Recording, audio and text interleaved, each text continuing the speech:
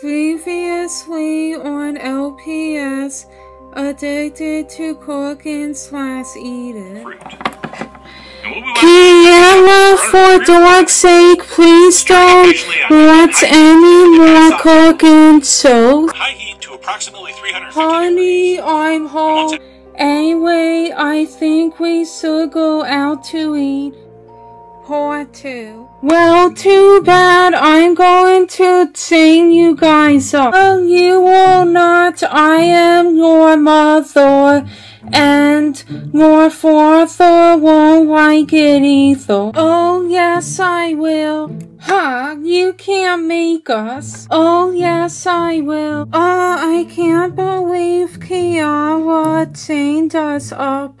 I know why this is so unfair. I started becoming addicted to cooking and eating when I was 10 years old. And ever since then, I've been homeschooled.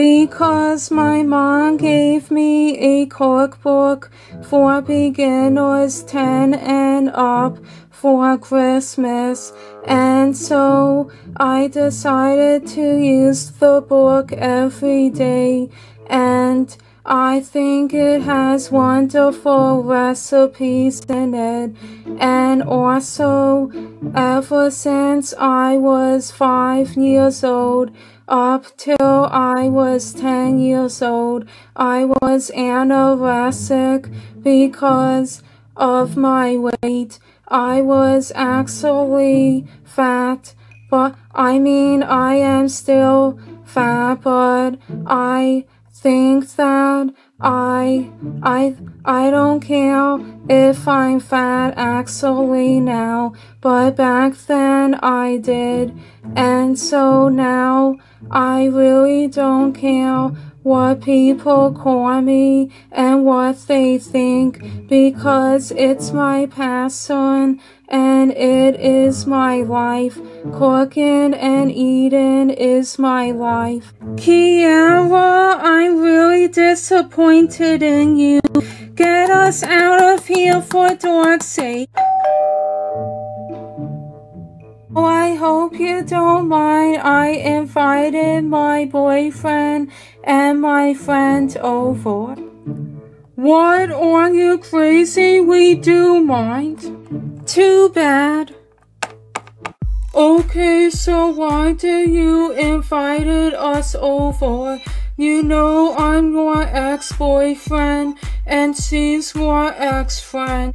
Because you idiots, I'm going to make you try my new soup. Oh, please tell me at least we're going to be nice to us. Yeah, I'm sick of your attitude. Of course I'll be nice. Just please wait on the couch while I get a table and other stuff for you to, I mean just for you to sit on. Fine, fine. Okay guys, you can come to dinner now. Okay, thank you. What the heck? Why are you chained up, Mr. Fisher?